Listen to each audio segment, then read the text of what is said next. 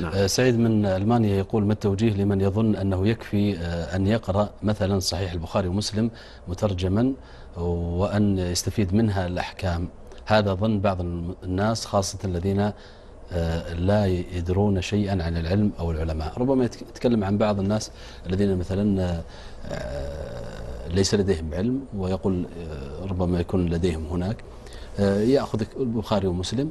ويقرأ فيه ويقول أطبق ما جاء في سنة النبي صلى الله عليه وسلم دون الرجوع للعلماء. هذه الطريقة طريقة فيها خلل في المنهج وفيها خطورة أيضا. فإن الإنسان الذي يأتي ليقول أخذ من النصوص مباشرة غير مكترث بفهم العلماء ربما يقع في أمور خطيرة ربما يخالف إجماعات ويقع في شذوذات وربما يقول بقول لم يسبق إليه. وكيف يلغي فهم العلماء على مدار خمسة عشر قرنا؟ ويأتي في القرن الخامس عشر هجري ويريد أن يستنبط الأحكام بنفسه من جديد. هذا كلام غير صحيح. لابد أن تستفيد من فهم هؤلاء العلماء. كيف فهموا هذه النصوص؟ خاصة من كان في الصدر الأول. الصحابة والتابعون. قال عليه الصلاة والسلام آه، ستفترق هذه الأمة على 73 فرقة كلها في النار إلا واحدة. قالوا من هي يا رسول الله؟ قال من كانت على ما أنا عليه وأصحابي.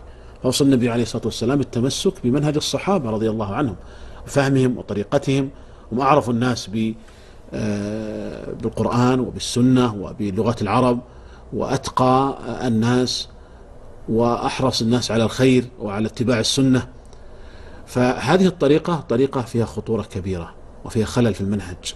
ولهذا نجد من يتبع هذه الطريقة يكون عنده شذوذات يأتي بآراء يخالف فيها الإجماع.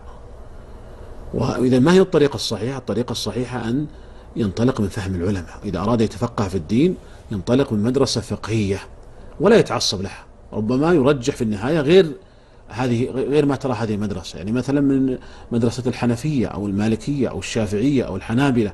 ينطلق من مدرسة ينطلق من أصولهم من كتبهم. هذا هو الذي يكون مؤصلا. ويكون آه، يعني يكون في في فهمه للنصوص يكون فهما مسددا. أما الذي يأتي مباشرة ويقول أنا بأقرأ البخاري ومسلم واستنبط الأحكام مباشرة فيعني هذا المنهج منهج آه، فيه خلل ومنهج فيه خطورة ويخشى أنه يقع في شذوذات ويقع في مخالفة للإجماع وربما يستدل بأحاديث منسوخة وربما يعني يقع في, في, في أمور مشكلة.